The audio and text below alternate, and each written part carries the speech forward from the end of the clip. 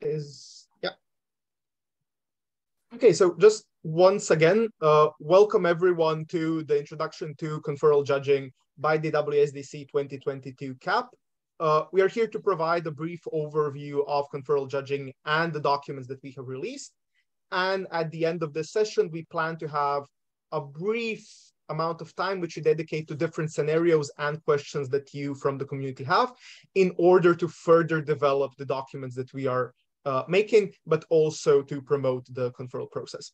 So here, just specifically, I would like to introduce uh, Maurice and Eric, which are who are primarily in charge of the session. I feel that both of them need no introduction as they're very valued members of the community, but also have been very helpful and have worked very hard on these conferral documents. And Maurice in the working group at the WSDC uh, board as well. And with that, I would just hand it off to Maurice. Okay, um, I assume I can still be heard. Um, so the way this is going to work is that I'm going to start off by explaining comparatively um, how exactly it is that the conferral system will differ to um, the previous years insofar as the process of judging and what happens in the room as soon as the round ends is concerned.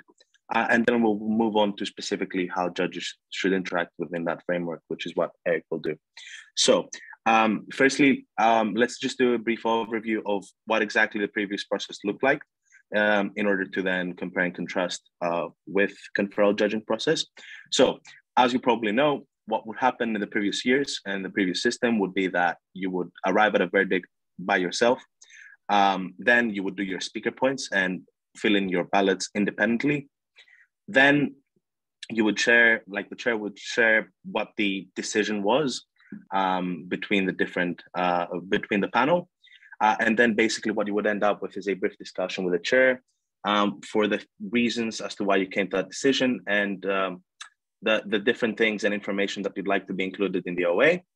Then you would get the OA delivery, um, OA oral adjudication, the, the, reason for decision for the round, um, uh, and then at the end you would deliver individual feedback to the speakers, um, which is like if asked. Um, now, what happens with conferral? Um, next slide. Okay, cool. Um, so the first part, which is that you will need to arrive at the preliminary verdict, is different because it's preliminary, it's not binding. You have to come up with your different preferences, like the different information around, evaluate them, weigh them among, like within yourself, uh, and then come up with a preliminary verdict, some leanings insofar as the round is concerned, and some brief reasons for your decision up until that point. This is not binding insofar as you do not need to fill in a ballot independently as you would um, in the past, because then you are going to engage in the conferral, uh, which is going to be done by the entire panel. Um, the first part is going to take you five minutes. Uh, we expect the conferral to take you somewhere between 14 and 20 minutes. Uh, by the way, these are just estimates and guidelines as to how we would envision this is going to work. Um, and obviously, different panels might do less than that, um, hopefully, not more than those times that we've given you. Um, then you would end up doing the uh, discussion with the rest of the panel where you would do the conferral, um, where you would ask the questions you have, come up with your initial leanings, talk about the different clashes that you identified within the round, and have a chat regarding the round. Um, the, the, very specific bits as to what constitutes conferral is going to be clarified a bit later as to the guidelines of judging a conferral uh, by Eric. Then after that discussion, you will do you will take three to four minutes, hopefully, uh, to fill your ballots independently. This doesn't change. What changes the fact is the timing, which is after a discussion happens. Then you will go back um, after filling the ballots have a chat insofar as the OA is concerned. You can again give feedback to the chair about things that you really want there uh, to be included in the oral adjudication or things that were particularly important or just the, the chair wants some time to structure their thoughts and everything. Um, and then, uh, which we will expect to take approximately five minutes, and then you will get the OA delivery, eight minutes, um, by the chair or the panelists from a majority. Like even if the chair splits and is in the minority, that doesn't necessarily mean that you know a majority panelist will have to do that. This happens after some type of um, discussion among the panel, um, and for serious reasons such as not being able to um, deliver the, the, the call that you didn't agree with. Uh, and then you do the individual feedback, which is going to be done by yourself, very similar to the way that it's been done in the previous years as well. So that last part, the, the last couples of this, uh, the, the last steps don't really change. Um, overall, the entire process should not take more than an hour. Um, this is something that obviously like the, the, the, timings within and i repeat that within that one hour can change depending on the structure of the church depending on the type of the round depending on the panel being unanimous agreeing on everything dancing kumbaya all around together but like sometimes it will not be like that sometimes well this is something that is very subjective and very round dependent. So this is just a guideline that um, is telling you that this whole thing should not take you more than an hour ideally.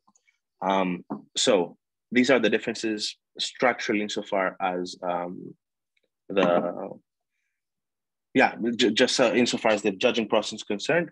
Um, so um, what do we mean when we say that you arrived to your preliminary verdicts uh, and what do we expect to do within the five minutes we've allocated to that?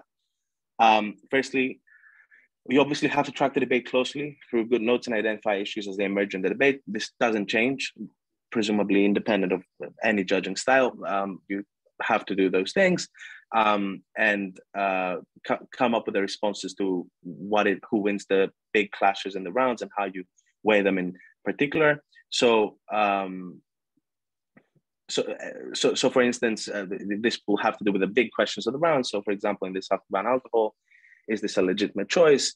Uh, does it reduce the harms? What are the impacts? These are the types of things that the big questions that you would like to engage with within your uh, preliminary verdict discussion among yourself.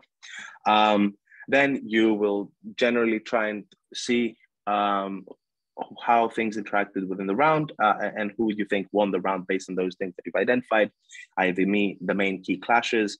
So this will happen by comparing the contributions of the two teams on the specific clashes or uh, um, the, the biggest issue in the round and who you think that the which team you think won that one issue. Um, all, all those different things that you take into account when deciding uh, why a single team wins the debate. These are the types of things that you will have to do when it comes to arriving to your preliminary verdicts. Um, additionally, it's important to actually clarify for yourself what it is that um, you consider to be the biggest issue in the round. Um, the reason why is because of the fact that when it comes to the actual conferral, as we'll discuss um, further a bit later, um, there needs to be an understanding among the panel insofar as what the big questions are, because if everyone has very different big issues or people have not identified the big issues in the round, then the discussion will become a lot messier than it should be. Uh, and then considering all the all that stuff, you determine a winner, um, which is how you arrive to your preliminary verdict. So um, generally, this process remains the same. The timing is the biggest difference um, because of the fact that you will have to go into do different things, but also because of the fact that some parts of the process have changed, i.e., you do not have to independently do the ballot now. You don't have to do the speaker points, um, etc. Um, then what you do is, what's the next slide? You confer with the panel. So that's the juicy part, the reason why you all are here today. Um, this is supposed to take uh, 14 to 20 minutes approximately. Um, again, this is not binding. So what are the different types of things that we expect people to do when conferring with a panel? The first issue that the, the first type of the first type of like questions that are going to be answered within conferral are mostly going to be things in regards to clarifications. Um, we identify two key clarification types of clarifications. The first one being clarifications around the WSDC rules. So, for example, what it is that you credit, or for example, whether or not a certain strategic choice by a team was a legitimate one, such as a team opposition running a counter model in a prefers motion. Things that generally have to do directly with WSDC rules, whether or not something is allowed to happen in the round. Um, these are the types of clarifications that we expect, um, the first bunch of clarifications that we expect to be uh, discussed. Secondly, it's about more subjective elements of the debate round. So things such as what happened here, um, uh, what was that second mechanism between X and Y, uh, because I missed that, uh, or perhaps um, did anyone else get the analysis for that point? Be, because, for example, I was it was hard for me to follow at that particular point in time um, within the speech. Um, or then it also has to do with things such as, given that you um, get all the information from the round uh, and that you are very clear about the WSDC rules and what the team said, things such as how specifically you weigh those th- uh, you weigh certain arguments or how to evaluate them, um, which is particularly important for close rounds, um, is something that will be part of the clarifications about the more subjective elements of the debate round that will happen, uh, that will be uh, part of your conferral discussion. Um, so that's the clarifications beat. Um, the second one will be um, trying to identify the issues as a panel. That, so what I mentioned before, the reason why it's important while you know getting to your own verdict to identify big issues and big clashes in the round is because it will generally make not only the conferral process a bit easier, but also a bit more structured and, uh, and perhaps um, the call more um, informed. Um, so the chairs will facilitate the discussion um, to um, head towards, to, to be directed towards the big issues in the round. Um, so for instance they, they will do the uh, they will mention that for example these were important things the important questions or issues in the round. Some people within the panel might want to add or some people might disagree with the importance of a certain clash. These are all things that will be part of the conferral that people can uh, discuss within the conferral discussion. Uh, and and then uh, we will also discuss this i think in one of the scenarios later later uh, but there can also be discussions in regards to the quality of the round or how tight the round was um, which can then um, give some information to the panel or create a discussion, mini discussion within the panel regarding vaguely what they thought the quality of the round was, um, then hinting at perhaps speaker points. So, for instance, um, you wouldn't you, you, would get a better estimate than you would uh, in the status quo. So, not the status quo last year. So, for instance, you wouldn't end up you might still end up with a 65 and a 75 for the same speaker in a round, but it's less likely that that happens if people are able to kind of hint at the how they watch the round and how they evaluate the different things within it. Uh, at the same time, it's entirely subjective, so this might not even change outcome-wise, but this is something that will and, can be part of this process.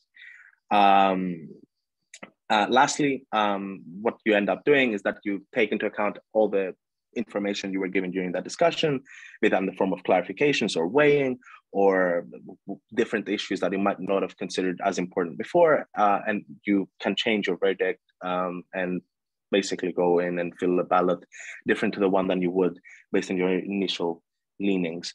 Um, so summary of this is that there is a summary for this one, right? I'm sure there was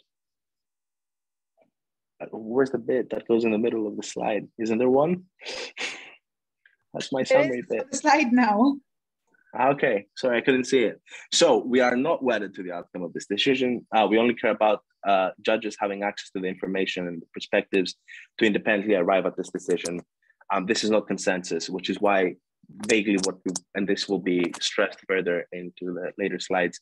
The point of this isn't to persu- uh, persuade people to do to, to vote for whatever you think is correct in the round, but rather for everyone to get enough information to independently make the choices um, in the most informed manner for the round.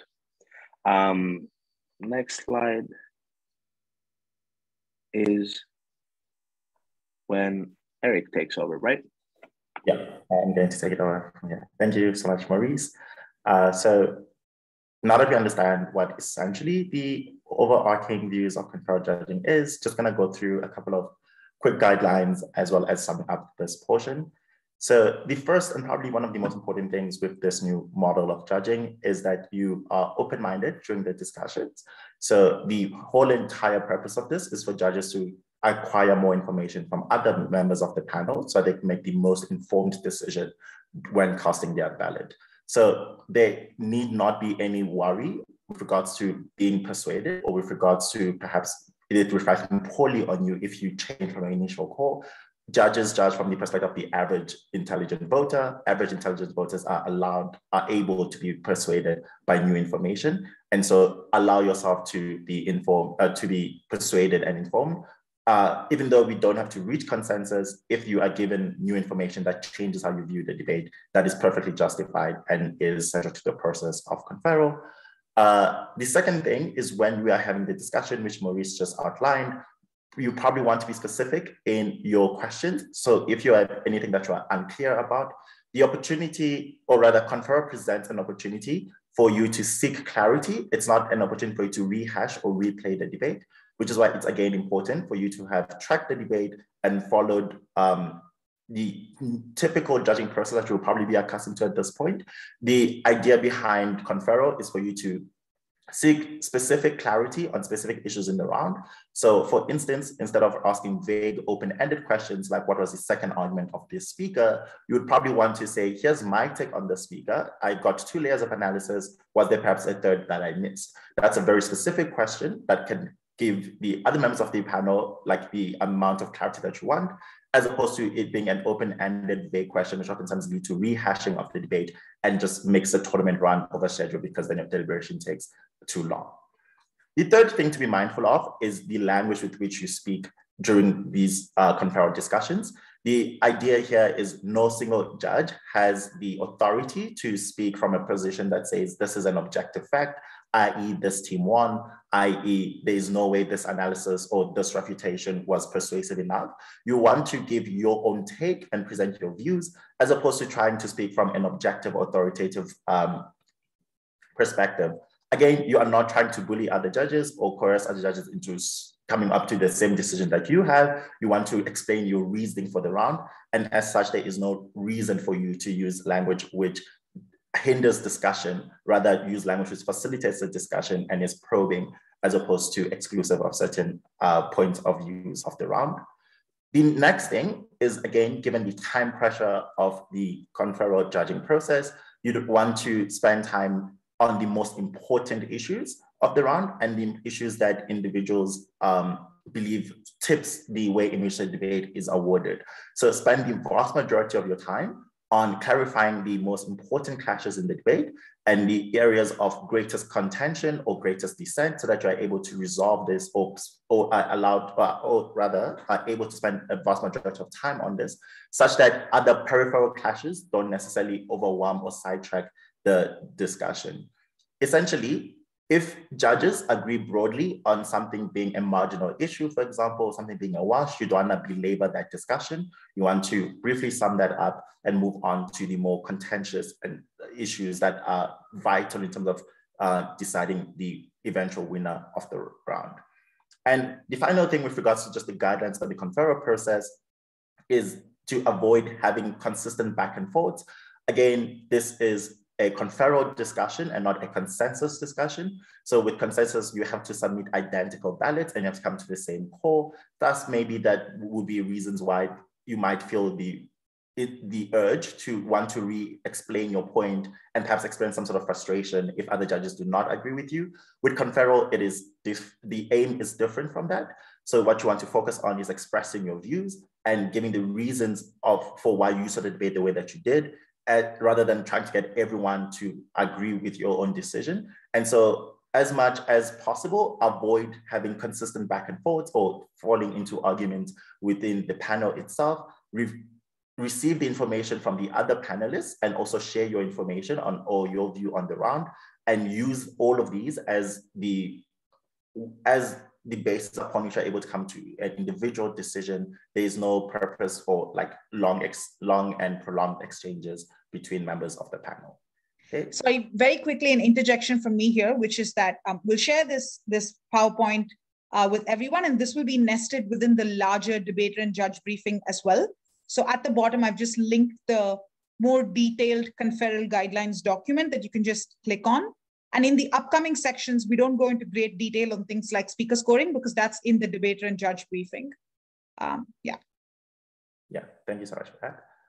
Uh, okay, and then at this point in your deliberation after the debate, you would have finished your conferral discussion. You now move on to the segment towards uh, submitting your own individual ballots. Similar to previous years, ballot submission is still independent. What has changed is, of course, the time at which you are um, submitting your ballots. So you will still fill in your ballots independently and based on the information that you've gotten from the panel discussion during the conferral time, you assign scores and you uh, would evaluate who you think wins the debate, either sticking to your initial decision or flipping to a different decision if that is the outcome of the conferral process for you. Here, you are still going to use the same WSDC criteria of content, style, and strategy. Try to not think of these as distinct categories or discrete categories, but rather things that work together to enhance the persuasiveness of a speech and help you assess whether or not this be whether or not speech was of a high quality, a, an average quality, or a below average quality. So whilst we, you still have to score according to each of these categories, they oftentimes do uh, enable one another and form a holistic picture of how you should be like uh, evaluating the individual speakers. The thing to note about ballots again is that, oh, sorry, just one final thing uh, before, I'm not gonna go into the range and stuff because that will be in the briefing, but the speaker score that you assign are a mathematical representation or a numerical representation of your view of the debate, i.e., if you think this was a good debate, you probably want to give the scores on the uh, WSDC scale that correspond to that. And, and there has to be a correlation between your assessment of the round from the clashes and from how close you thought it was, as Maurice has previously uh, outlined, to the numerical value that you ascribe to individual speakers. This is not to say that if the debate was a high quality round, everyone should get like exceptionally high scores uh, because there's degrees of subjectivity there. But generally, if this is an above average round, it is unlikely that you'd have significantly below average scores. So just being mindful of the correlation between your numerical representation of the speeches as well as your assessment of the debate. Um, yeah, I'm not going to go into the speaking scores. Those are attached in the briefing that individuals will have access to at this point. Okay, can go up to the next slide. Okay, after ballots have been submitted, the panel discloses to the chair what was their final decision. So did they remain with their initial decision or did they change their decision? And then now we get into preparation for the oral adjudication or the reason for decision, uh, whichever terminology you are most familiar with. Here, only one person of the panel has to give this OA and it has to be reflective of the opinions and views from the entirety of the panel. Most of the times this will be delivered by the chair judge, uh, but in instances where there is a split and the chair is in a minority, they are free to ask someone in the majority to relay the oral adjudication. This is not compulsory. You can be in the minority as a chair and you can still opt to uh, deliver the OA if you feel comfortable doing so. But if you feel uncomfortable, then you are also free to ask a member of the panel who was in the majority to relay that. You want to have a brief period of time, so five minutes to prepare this oral adjudication. And here you again just take note, as you already should have throughout the oral conferral process of the views of the other judges, but you also want to request from the panel any key points of divergence or anything that they anything that they think is important for you to articulate in your oral adjudication that you may have missed. Again, the OA has to be reflective of the entire panel's views. Okay. And then finally, we come to the delivery of the oral adjudication itself. Again, only one member of the panel, typically the chair, or someone from the majority in the instance of the split. With regards to delivering the oral adjudication, you want to cap it at around eight minutes. Sometimes it may go a bit longer if it's a particularly close debate, but like do not go into 11, 12 minutes. Try to keep it short and straight to the point as much as possible. Eight minutes is a good time and sufficient time for you to relay an OA. The speakers have to convince you for eight minutes. You can also convince them of the decision within eight minutes. So when it comes to delivering the oral adjudication, First and foremost, please do deliver the results. So either on a unanimous decision or on a split decision, this team won. There's no need to be suspenseful. It oftentimes also means that the children do not listen as much to your OA because they are focused on wanting to hear the result as opposed to um, your reasoning. So get the result out of the way such that you are able to have the maximum attention from the, from the debaters. Keeping your OA within eight minutes is crucial also for just the logistics of the tournament and you do not reveal any speaker scores. Uh, speaker scores are delivered at other points. So you do not, as a chair, reveal speaker scores. Linked to this, you also are not obliged to reveal who was the best speaker of the debate. Um, there is no need to do that. Focus on the holistic view of the debate and justifying who wins or who wins and why they win and why the other team loses. In, within these eight minutes, you want to walk teams through the tracking of the debate, as well as show them the way in which judges evaluated the interactions um, between the clashes of the round, rather than it being a rehashing or a replay of the debate, you want to synthesize clashes, for example, or specific issues that make it important that were important for the panel in terms of uh, deciding the winner.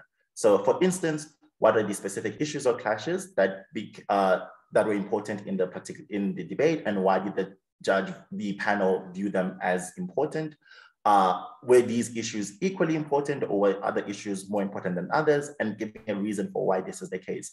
Either it might be based on the burdens from the motion or the amount of time teams prioritize and the level of interaction within a particular clash. You want to express this to the teams as well so they can get a better picture of a better picture of how the panel received the debate. And then you also want to then justify uh, which team won on these specific issues and why they did that. Importantly, within doing this, you want to be comparative. So don't just list out the arguments that were given by one team and then say there were other arguments by the other team, but this team won. You want to point out specifically what on what basis and on what grounds were, was one team more persuasive than the other. And you also want to explain the strengths and weaknesses of the teams in a manner that is always comparative and tracks the evolution of these clashes because debates are oftentimes progressive. So you also want to note how refutations and rebuilding played out in terms of your assessment of that clash. Importantly here, you want to be balanced in your view of both teams. Do not be overly critical of the one team and do not be do not praise the other team uh, like an absurd amount or, or disproportionately so you have to you want to balance both the positive and constructive criticisms for both teams. And typically the way it plays out is that it's very rare that you have teams winning by a landslide. There's always going to be some mitigation that was provided. So you probably also want to point out the kinds of responses that were given by the other side, even if they lost, and why you found them to not necessarily be strong enough to tip the clash, but still pointing out that there was a, uh, and pointing out that there were responses and reflecting how the debate played out. Finally, when you're done explaining the decision, um, or rather when you are explaining the decision, focus only on the work material that was presented by the teams. If you have any points of constructive criticism and how you think teams could have improved on their cases, save that for the later end when you are giving constructive feedback. And that's it on the oral adjudications. Okay, we also recognize that we have judges who have spent other years or just time in different circuits with different formats. And oftentimes that leads to some confusion or conflation across formats, and that's not always smooth. So you can have good judges that are excellent in one particular format and are excellent judges when it comes to evaluating debates, but perhaps would struggle with the uh, WSDC format specifically or with the conferral judging specifically. And this is just a table that compares and contrasts the different formats and also the different ways of judging to conferral judging in order to show you how we are to come across, uh, sorry, how to come up with the decisions and the differences between those processes. So on the first area, we have the timing and the purpose of the discussion. So in a format like Asian parliamentary, where it is individual ballots uh, independently and judges independently arrive to, the, to their decision, there is a very low uh, importance to a discussion. So ballots are just submitted by individual judges, and there is a brief discussion almost as as means of a formality or, or just ceremoniously, and it doesn't really affect the outcome of the debate. With independent ballots, so um, in previous WSDC editions, for example, or in Austral's uh, formats, here there was medium importance to this. So after ballots are submitted, there will be a discussion order for the person who is reflecting the decision of the panel to incorporate all of those aspects within their adjudication. In consensus judging, which is like in the British parliamentary format, there's a high importance to the discussion given that it is a consensus decision and you have to submit identical ballots as a panel, you probably have a lot, you probably take a lot more time in order to hash out these disagreements and reach that consensus. With conferral judging, which is what is being adopted at this year's edition of WSDC, there is a medium importance to it, which is why it takes about eight to, sorry, 12 to 18 minutes, as Maurice had pointed out. And you have this discussion before you submit your ballots in order to expand the information that members of the panel have at their discretion to come up with their individual uh, decisions. So there is a medium weighing to medium to high weighing of the to the discussion, and it's a very vital part of the conferral system.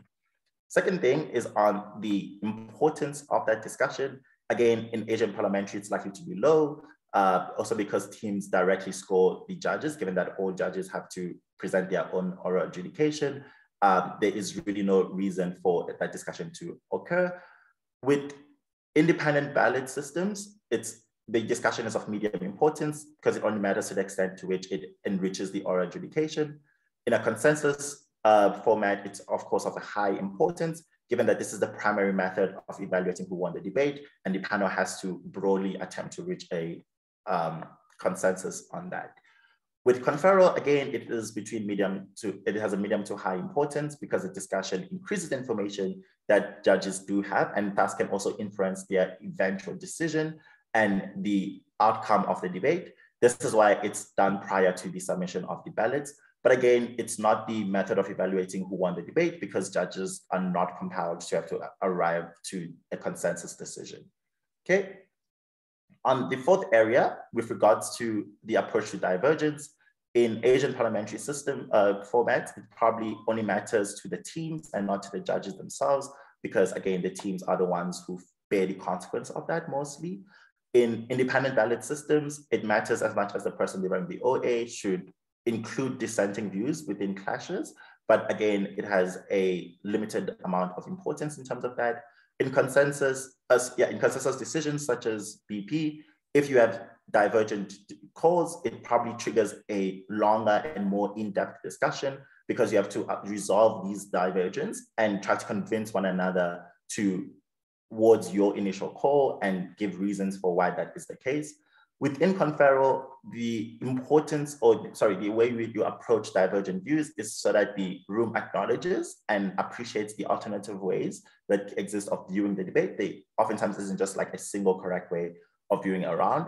And also the explanations that these judges give can again influence the decisions that judges have to eventually arrive at independently when casting their uh, ballot. So it might affect whether or not they change their decision. With regards to the likelihood of dissent, it's relatively high in AP formats, relatively high in independent ballot formats like previous editions of WSDC, given again that there's no discussion. In consensus, relatively low because you spend a lot of time trying to arrive to a decision. You only really vote if there is a time pressure from like the OGCOM and that sort of thing. With conferral judging, it is important to note here that it is unclear, right? With conferral judging, we are agnostic as to the reasons that individuals eventually arrive to. What matters is the process. So the final decision, as mentioned previously, is something that we are not wedded to, uh, and therefore the likelihood of dissent is unclear in conferral judging. And the final thing with regards to the number of OAs, in AP formats, we have a separate OA from each of the members of, of the panel. So you can get like up to three oral adjudications with independent systems, one OA, consensus, one OA, and also with conferral, a singular OA presented either by the chair or one of the panelists in one of the judges in the majority. Okay. And then the final part to discuss would be offering constructive feedback to teams.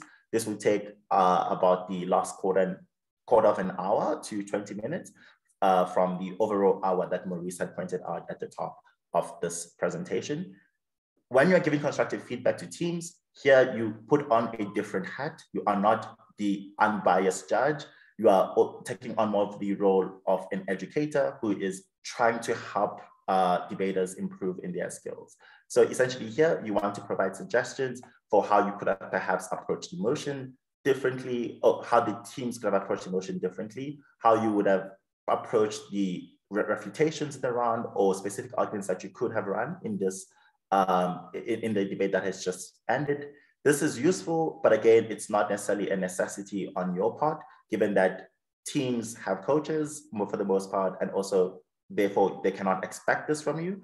But it's useful if you are able to at least elucidate on how you would have uh, approached the debate as a judge, um, as a judge, presumably with more experience than the teams speaking.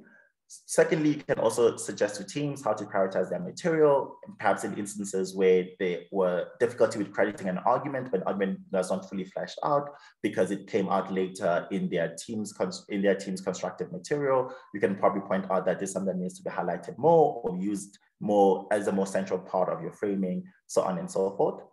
The other thing that you do when providing constructive feedback is just want to provide more in-depth feedback per speaker. So again, trying to be balanced in, with this. So what did they do well? What can they improve on? Do not be overly critical on one individual member of a team. And also do not be overly like praising of one individual member of the team. Try to balance both. It's very unlikely that you get a brilliant, an absolutely and completely brilliant speech.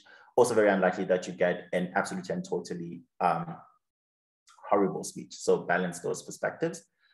Adjust your feedback to the speakers. Uh, read the pitch of the room. Do not overwhelm novices.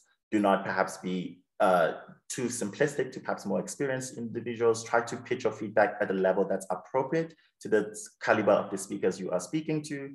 And also do not single out any individual on the team, as I've already mentioned. And importantly, you also want to be open and receptive to answering questions. So if a team wants to ask for further justification on how you weighed a particular exchange, be open and willing to do that. Okay, thank you. And just to reemphasize that, the process of judging in the conferral system, you first start, first five minutes independently arrive at a preliminary verdict, synthesize a debate into important clashes or exchanges that you think should decide the outcome of the round, then spend the next uh, 14 to 20 minutes together as a panel engaging in the conferral discussion so that individuals can get more information and, and be exposed to perhaps alternate views of the debate. At the end of this, individuals should make their own final decisions again. And then for the next three to four minutes, independently fill out your ballot and submit your ballot. Once your ballot is in, you can reveal your final call to the chair, uh, and then, the, then we will know the final verdict of that debate. Did proposition win or did the opposition win? After that, we go into the uh, we go into the portion where you prepare for the oral adjudication. This is led and facilitated by the chair or a panelist in the, in the majority um, if the chair is uncomfortable delivering the oral adjudication the entire panel has to support this process, okay? And then with the OA delivery, only one OA, either by the chair or the panelists in the majority. And then lastly, with individual feedback for, sorry, with yeah, individual feedback for the teams, 15 to 20 minutes. This is again done independently, but ideally all judges are available to give feedback to all of the teams so that everyone can learn from the debate that just happened. The entire process from you starting your deliberation to giving feedback should ideally not take more than an hour. But again, situations do occur uh, where you either can go slightly below that or slightly above that, but do try to be thorough. Yeah. And this is, a, I think at this point, we will open up for questions. I do see there are already some questions or comments in the chat. Yeah, I'm just going to stop, just like pause our screen share uh, just to do questions. So I'm stopping that, stopping that. So I think we have already two questions from Mark Gabriel. So the first one, uh, whether it is a requirement to reveal your preliminary verdict during the conferral discussion, or is it okay to keep that to yourself? Uh, and here it is a strong encouragement. So based on the WSDC rules that were adopted, this is not required by the rules themselves. However, this is our strong encouragement as the CA team, as we believe that it will facilitate the discussion and increase the speed with which uh, conferral happens. So in the need to keep inside the time, but also to help make the discussion clear, we do ask the chairs to ask for the preliminary decision and for the panelists to give it as well. Uh, and I just oh, wanted to quickly okay. add to that that the reason we have a strong preference in favor for it is also for judges to hold themselves accountable and actually make a preliminary decision. And so that if there is a split at the start, we can quickly identify points of divergence and spend time on those. Or if you know that it's unanimous at the start, um, just to answer your second question, um, and you're on the same page, which you realize if you are unanimous and people know that and start the discussion, that you can keep it quite short then.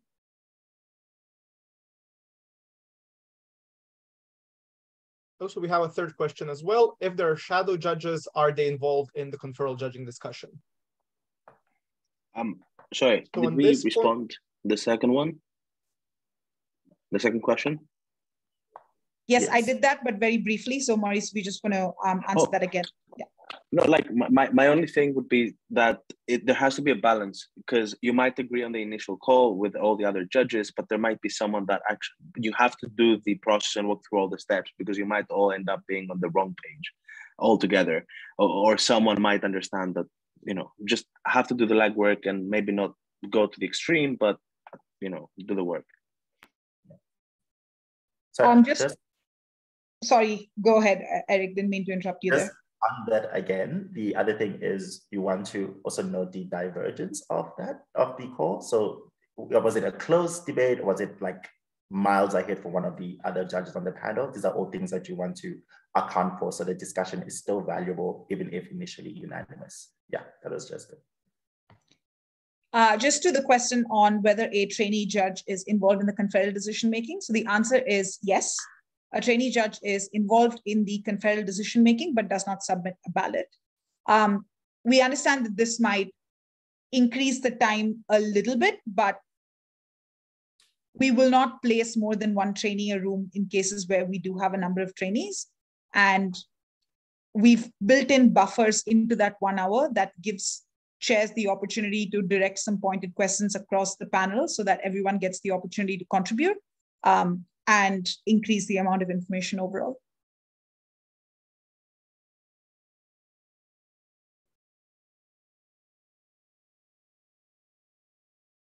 So if there are any additional questions, now would be the time for it.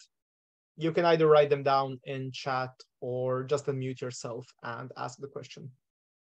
We are aware that this is a new procedure, so any questions would be more than welcome to facilitate the development of the entire conferral process for WSDC. And of course, the door is not closed if you don't have a question now. If you think up of one later, you can always uh, drop us an email.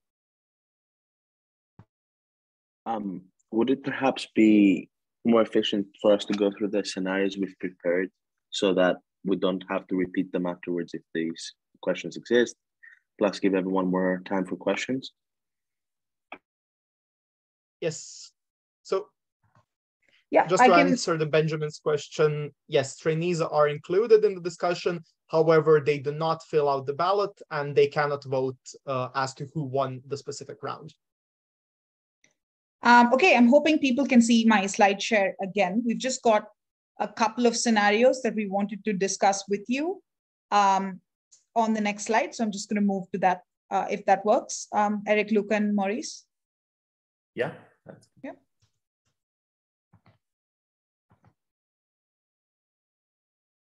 Oh, I should have animated this to come one by one, but that's okay. Sorry. No problem. Yeah. So these are just some potential scenarios that we do foresee can occur during the process of judging. And we just like to perhaps provide initial clarity on how they would be approached. So the first scenario is during the initial uh, part of conferral, when you're tracking clashes, the other two judges seem to have a response written down that you did not have as a judge yourself. Should you now factor this into your response, i.e. you missed a part or you did not think the response was given? In brief, the answer to this is yes. That is the aim of the conferral system for you to expand your knowledge or your in, the amount of information that you have from the debate in order to cast a final verdict. So if there is new information that is being exposed to you that with authority was actually st stated by the speakers, you have to factor that into your overall um, decision for the debate.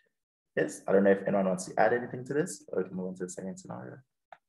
Uh, yes, so I would just add here is that you get the information from the other judges and this is additional information that we want you to take into account. However, you as an individual judge can also choose not to do so. So it is up to you in the end to decide whether or not this was clear enough for the teams. So it is perfectly acceptable for you as a judge to say, I understand that the other two judges understood this line of analysis. However, for me, it was the team's responsibility in making it clear.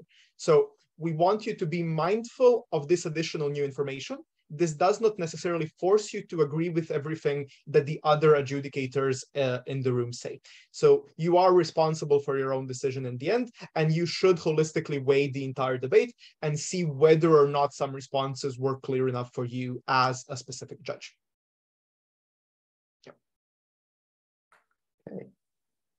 The second scenario, you are a chair and you have just asked the witness to track an issue. You, you realize they do not compare contributions, but instead keep listing arguments teams ran. What will your response be? Um, ideally here, you want to politely interject and ask if they could compare as opposed to rehashing the debate. Because again, the purpose of conferral is not to repeat the debate or to replay the arguments of the debate, but it's to assess and evaluate the ways in which the teams engage with each other's material and which team would come out on top as a consequence of that. And so because of that, you probably do not want to have judges spend a long period of time, not necessarily being comparative, but instead merely being reiterative of the play-by-play in the round. Again, if I don't want to add anything, yeah. I just wanted to add that there might be the unfortunate circumstance where you make a polite interjection or you give an example and the person that's judging continues to do that. I think in that situation, we just have to accept that there are cases where judges are judging differently and there isn't a lot we can do uh, to force the issue at hand um, and sort of not do anything after that point rather than constantly try to get them to do something even if that's taking more time so yes, it is, it is an annoying case of the answers to all these questions is that it depends. That is very true. Hey, the third scenario, the debate has ended and you are the chair. You enter the conferral discussion and think opposition has won the round extremely clearly. When initial verdicts are shared, there is a split decision with one vote judge voting for the proposition. You realize halfway through discussion that the decision will likely remain unchanged, i.e. a split, even at the end of all judges clarifying their questions and hearing out the tracking of the issues. What do you do as a chair? Um, in short, again, you do nothing. You continue on with the process because the purpose of conferral is not to get everyone to be on the same page and have the same read of the debate. It is instead to expose everyone to potentially alternative views or readings of the debate. So there is nothing that you can do as a chair. You have to let each individual member of the panel submit their ballot. And if the decision remains a split, even after the discussion of conferral, it remains a split after the conferral discussion. Yeah. Okay. Again, if anyone wants to chip in, feel free at any point. If not, I'm going to proceed. The fourth scenario, a judge during conferral explains that they missed parts of speech, uh, yeah, parts of speeches because their internet had dropped off. They say they will not fill their ballot, but will participate in the conferral for experience. What will you do? Here, you, there is a disconnection policy. So if the judge has indeed disconnected for and as per the disconnection policy was unable to participate in the debate, they do lose their voting rights, i.e. they cannot necessarily vote. Uh, yeah, they cannot vote because they did not fully uh, get the debate and they did not judge it. The purpose of conferral is to give um, information and so, oh, okay, yeah. The purpose of conferral is to give judges information and it's not to rehash the debate. So you cannot use the conferral system as a way for you to explain to the judge what was said within the speeches. If they're disconnected such that they cannot vote, uh, such that they cannot, they could not hear the debate, they cannot vote, and they cannot also participate in the discussion, in the conferral discussion. So to be clear, they cannot participate in the conferral discussion. They will be listening in on what the other judges have experienced, but they lose their voting rights and cannot, cannot cast a ballot at the end. And just in terms of why we made that decision, the entire point of this system is to increase information collectively, which requires you to have the best possible begin with. That is, you should have listened in on the round and tracked the debate fully. And if that is something you were unable to do and hadn't raised the disconnection policy such that you could go back and listen to the couple of minutes that you missed, you ideally should not be influencing the other people's decision, given that your information is actually quite poor on the round overall. Okay. and for the last scenario, you are a chair or panelist, and it becomes quite clear to you the rest of the panel is not giving the speakers as much credit as they should, and that they're likely to not apply the speaker scale as you would. What would you do in this circumstance? Uh, again, in short, there's nothing that you can do about this. The purpose of conferral is again not to reach a consensus, so you don't have to have identical ballots. The most you can do is advocate for why you thought it was either a high quality round or a low quality round, but you cannot influence these individual scores that each judge presents at, or submits at the end with their ballot. So all you, the best you can do is advocate during your deliberations why you thought it was a good round, but you cannot coerce or try to persuade the speakers or that the judges allocate to the speakers. So here, just to add, add briefly, as I think this could be one of the questions, and that is to what extent do you discuss speaker scores within the round? So the primary purpose of conferral is to reach a decision as to who wins the round and to provide adjudicators with as much information as possible. Within that, if you have some time to discuss the overall speaker scores within the round or certain feedback or crucial issues, it is absolutely possible for you as a panel to discuss this. However, do prioritize reaching a decision and talking about the round and the clashes and who won the debate and be mindful of the time you have. So this just keep in mind to not cause delays with conferral as this is a completely new process as well. Okay. And that brings us to the conclusion of at least the presentation. I am also aware we have taken the hour we requested from the lot of you. So thank you so, so much for staying with us. And obviously, we're here for the next few minutes if you've got questions. Um, but while some of you might be percolating some questions, three quick announcements from us on things to look forward to tonight, because at this point you will be getting emails from the CA team every day. Sorry. Um, first is you will get the full debater and judge briefing out tonight. Those of you who are obviously coaches and want to refer to some of that um, while thinking about your cases, working with your teams, that would be useful. And those of you who are judges, please, please read through that very, very carefully. Um, and we would appreciate judges on this call to actually use that to do the judge test because that will make your life and our lives a lot easier. The second thing coming your way is a, a, judge training update. So we're doing our judge training, the first one, the upcoming Saturday on the 30th. So you will have a link that you can register onto similar to the one for conferral briefing. And the last is a new nations update, which is just a set of practice debates that we're doing on the 31st Sunday. Um, so we're sending through a link uh, for that as well. So these three things will come through together on an email and go up on Facebook as well. So teams that are new to WSDC in the last three years or haven't broken at WSDC in the last three years, and then teams that don't fall under these brackets as well can sign on to do those practice debates on the 31st. And we will obviously prioritize um, based on teams that historically or haven't had access to practice debates as much. And if there are spots, we'll obviously hand them over to teams that have had a little bit more experience as well. So those are the three things coming your way. Um, we know there's lots of emails, uh, but please, please bear with us and do read them.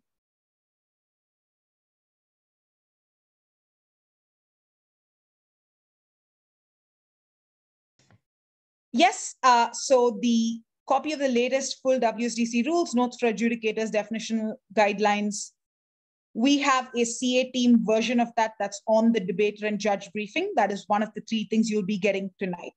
Uh, and I think that should answer most of those questions. But obviously, if there's something we've missed out, uh, please do drop us a line and we will add that on as well as send out a clarification. Um, will the 30th July meeting be recorded? Yes, it